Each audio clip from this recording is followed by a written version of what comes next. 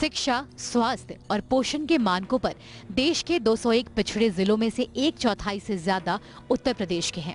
इसके बाद बिहार और मध्य प्रदेश का नंबर आता है।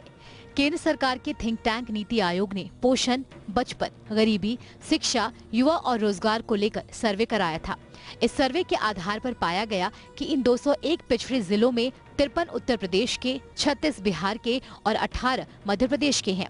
यानी करीब 25 फ़ीसदी पिछड़े ज़िले अकेले यूपी के हैं। नीति आयोग के मुख्य कार्यकारी अधिकारी अमिताभ कांत ने ये जानकारी दी। पोषण, गरीबी से पीड़ित बचपन, शिक्षा और युवा और रोज़गार पर भारत के यंग लाइफ लॉन्जिट्यूडिनल सर्वे के शुरुआती निष्कर्ष को जारी करते हुए उन्होंने कहा कि सात से आठ राज्य हैं जो देश को पीछे खींच रहे हैं। इसलिए इन राज्यों को नाम लेकर शर्म दिलाने की ज़रूरत है। अमिताभ कांत ने कहा कि अच्छे शासन को अच्छी राजनीति में तब्दील होना होगा। कुछ राज्य देश को पीछे धकेलने में जुटे हैं, लेकिन जब तक आप इन इलाकों का नाम लेकर उन्हें शर्म नहीं दिलाएँगे, तब तक भारत के लिए विकास करना काफ़ी मुश्किल होगा। नीति आयोग के सीईओ ने कहा कि दक्षिण भारत और पश्चिम भारत के साथ कोई समस्या नहीं है, केवल पूरी भारत के सात राज्यों और 201 जिलों की ये समस्या है। Bureau report, APN.